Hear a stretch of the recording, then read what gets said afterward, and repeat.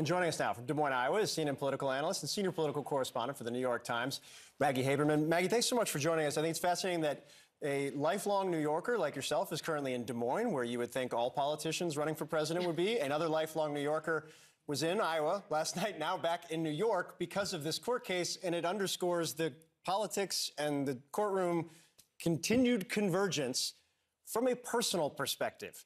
What does this case mean to Donald Trump?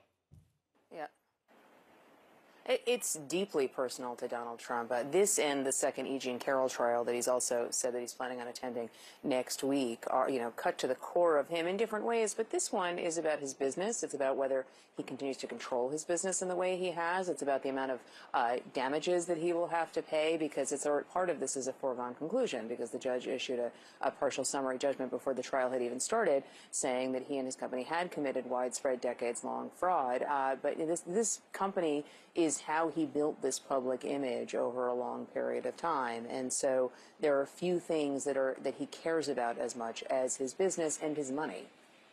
Maggie, last night during the CNN debate, which Trump was qualified for and invited to, he didn't show up. He did a Fox town hall instead. But we noticed, I think a lot of people probably noticed, how he moderated his tone on some key issues. Things like saying he'd be a dictator on day one or on abortion. Let's listen to some of that sound first on whether he would be a dictator. Can you say tonight that political violence is never acceptable? Well, of course that's right. And of course, I'm the one that had very little of it. The new narrative they have, as you know, is I'm going to be a dictator. That's going to be the new narrative. No, no.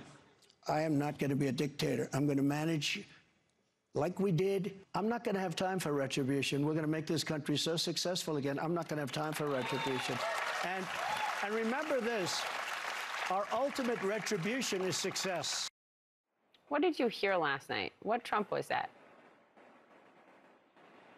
This is a Trump who is, as you say, and my colleagues and I noticed this as well, starting to look at a general election and trying to grapple with his own comments and, frankly, his own past behavior that his aides are concerned about him highlighting at various points over the course of the last year. He, he said at a CPAC speech, this wasn't off the cuff, he said, uh, I, I will be, I, I am your retribution. Uh, to voters who feel that they have been wrong. But the reality is that you know Trump has a very long history of seeking payback, and so there is a reason that people have focused on that. Uh, those remarks are not helpful to him in a general election, and so you're seeing him trying to you know shift in terms of a general election electorate. Whether that will be successful is an open question. But I think last night was the beginning of mm. him trying to make a turn. I mean, my question, and you know this better than anybody, is it can it be sustained? More than anything else, right? I feel like we've had so often, and you've covered every single one of them over the course of the last eight years, these moments where he starts to moderate the tone, and we hear that advisors are trying to tell him, please moderate your tone on this, it matters, does it for like a day or five days, and then swings totally back the other way. Is this time different?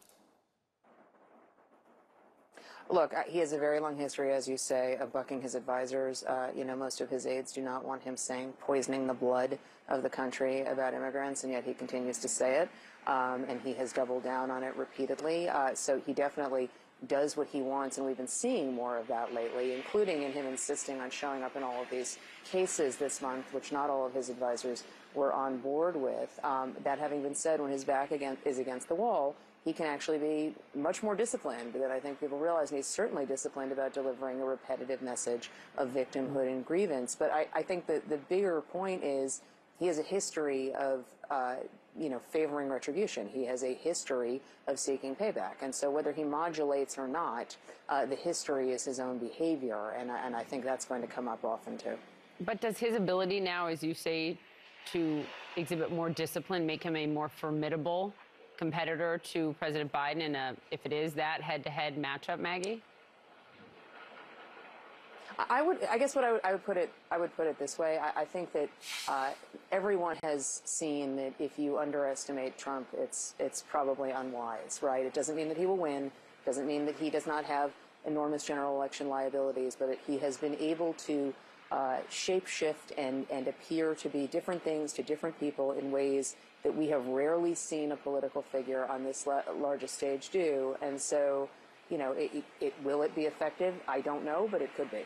You know, to that point, it, there's a difference now than perhaps in the past. Same issue we had in 2020. He has a record.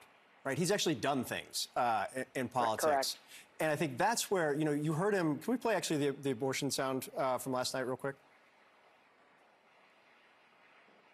For 54 years, they were trying to get Roe v. Wade terminated, and I did it, and I'm proud to have done it. Now, I happen to be uh, for the exceptions, uh, like Ronald Reagan with the life of the mother, uh, rape, incest. If you talk five or six weeks, a lot of women don't know if they're pregnant in five or six weeks. But I will say this um, you have to win elections. Otherwise, you're going to be back where you were, and you can't let that ever happen again. You've got to win elections.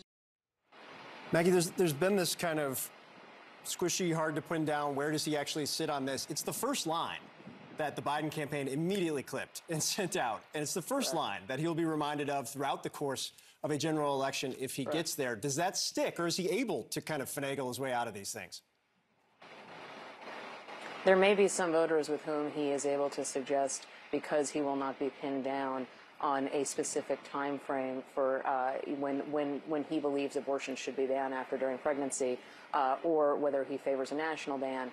There may be some voters who, who you know, revert to seeing him as, as more moderate on this issue. However, the fact that he repeatedly reminds people of the true fact that he is the person, other than Mitch McConnell, most responsible for ending Roe v. Wade, uh, that is not going to play well with a number of voters uh, who are animated by abortion. And as you know, the Biden campaign is going to remind them of it over and over and over again. And we saw last year in the midterms. Midterms are different, as you know, Phil, than general elections uh, for a presidential race.